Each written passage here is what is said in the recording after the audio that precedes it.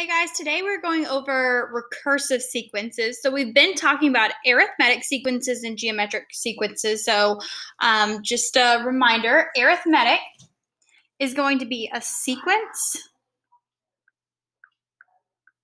which remember sequence is just a fancy name for a pattern, created by adding. Okay, that's the important part. You're adding to get to that next term. Now remember, we're going to have a common difference with arithmetic.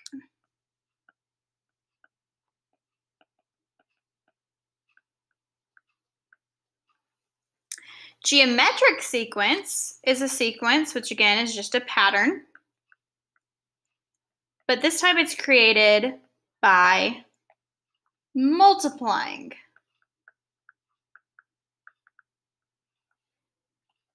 And that's the key there to tell between arithmetic and geometric sequences. Um, remember, this one has a common ratio instead of the common difference. So recursive sequences just pre presents the arithmetic and geometric sequences in a different format. So it's stuff we already have learned. You're just going to see it in a different way. So recursive is going to give you And real quick, recursive, if you look it up, recursive just means it's a repeated patterned. Repeated pattern. Okay? So it's going to give you the next term in a pattern.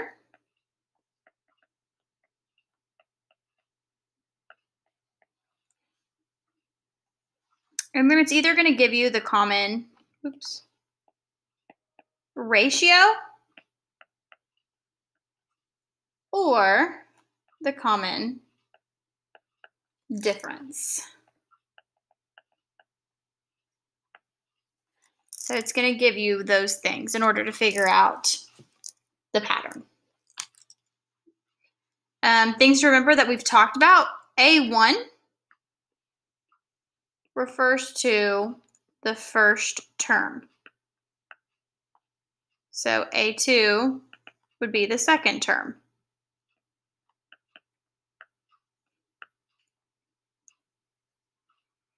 Okay, so if we look at arithmetic and geometric sequences, arithmetic, again, that's going to be adding or subtracting. You're going to be given a formula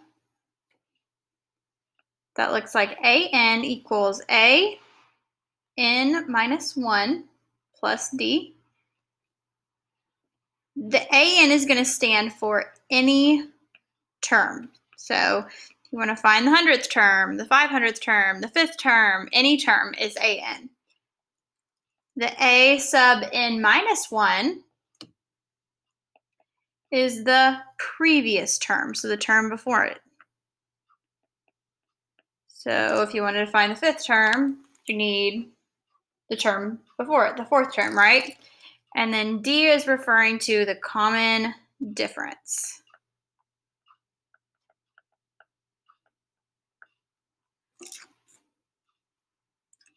Okay.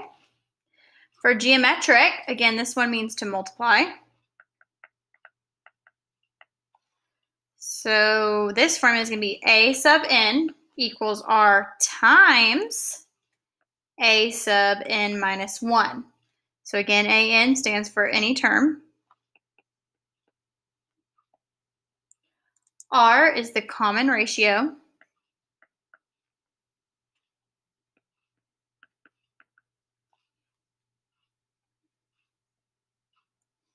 And then a n sub 1, again, is the previous term.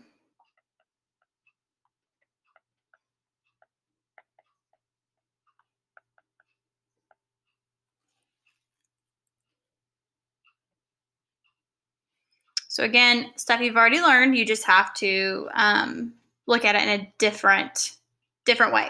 So one through 6 says determine if the sequence is arithmetic or geometric, then find the first five terms in the sequence. So the first um, thing to do is just determine if it's arithmetic or geometric. Since we are adding here, remember adding or subtracting is always going to be arithmetic.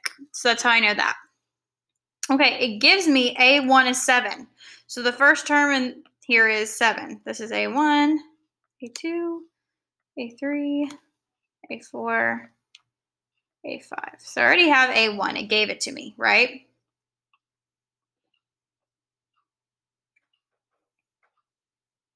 Now it gives me this formula here. AN equals A sub n minus 1 plus 3.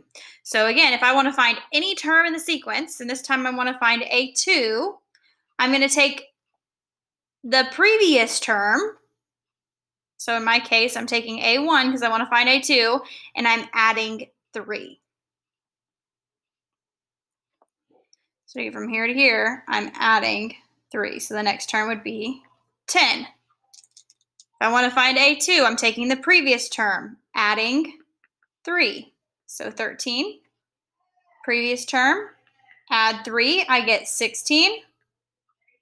Previous term, add 3, and I get 19.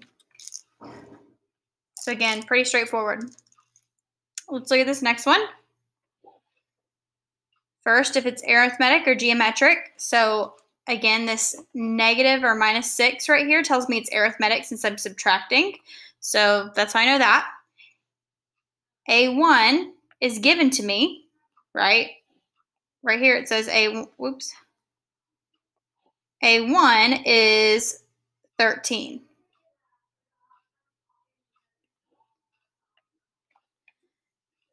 Now, the formula tells me to find any term in the sequence, I'm going to take the previous term and subtract 6 from it. So if I want to find A2, I'm going to take the previous term, 13, and I'm going to subtract 6.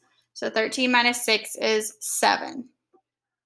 To find A3, subtract 7 minus 6, and I get 1.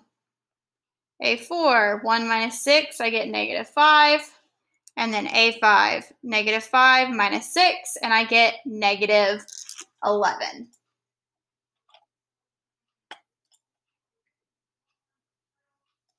Okay.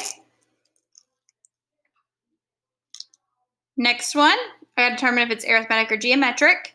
So this time, my formula is 5 times a sub n minus 1. So since I'm multiplying, that tells me that it is going to be a geometric. Multiplying is geometric. Again, it already gave me a1 right here. a1 is negative 3. So I'm going to put negative 3 here. Then I look at my formula in order to find a2. So I want to find any term. In this case, I want to find a2. So to find a2, to find a2, I take 5 times the previous term, which was negative 3, which gives me negative 15, right? So to get from negative 3 to negative 15, I multiplied by positive 5, not negative 5. Okay, so if I want to find a 3, I'm going to multiply negative 15 times 5, and I'm going to get negative 75. Negative 75 times 5 is negative 375. And then lastly, negative 375 times 5 is negative 1,875. So again, to find any term, you just take the previous term and multiply by 5. Okay, 4, we're going to determine if it's arithmetic or geometric. That um, because we're multiplying by 1 half right here, that tells me that it's going to be geometric because we're multiplying, we're not adding or subtracting. It gives me A1, right here it tells me A1 is 1024. So I know A1 is 1024. Now to get A2, to find any term, I multiply 1 half times 1024. So 1 half Multiplying by half is the same thing as dividing by 2, right? So 1024 divided by 2 is 512. Then times it by half to get to the next term. And I get 256. Times it by half. 128. One last time, times it by half, and I get 64. Okay, next one. I know that this one is going to be um, arithmetic because it's a minus 7. So since we're subtracting, it's arithmetic. It gives me A1. A1 is negative 15. So negative 15 is A1. So in order to get any term in the sequence, I'm going to take the previous term, so negative 15, and subtract 7. So negative 15 minus 7 is negative 22. Negative 22 minus 7 is negative 29. Negative 29 minus 7 is negative 36. Negative 36 minus 7 is negative 43.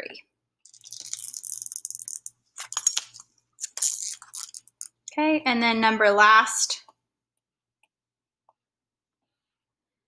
First thing, I'm going to see if it's recursive. I mean, if it's arithmetic or geometric, and I know it's geometric because I'm multiplying by that 1.5 instead of adding or subtracting, so geometric.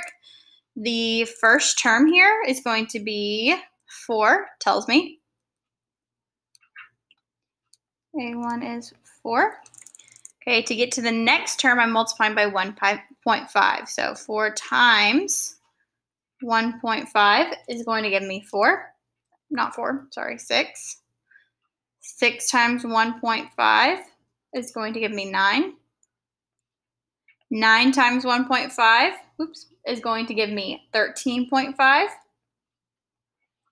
And then 1.5 times 13.5 is 20.25. And that's it. Pretty straightforward. Um, if you're adding or subtracting, it's arithmetic. If you're multiplying, it is geometric, um, and it gives you the formula on how to find the next term, any term in the sequence. You just need that previous term.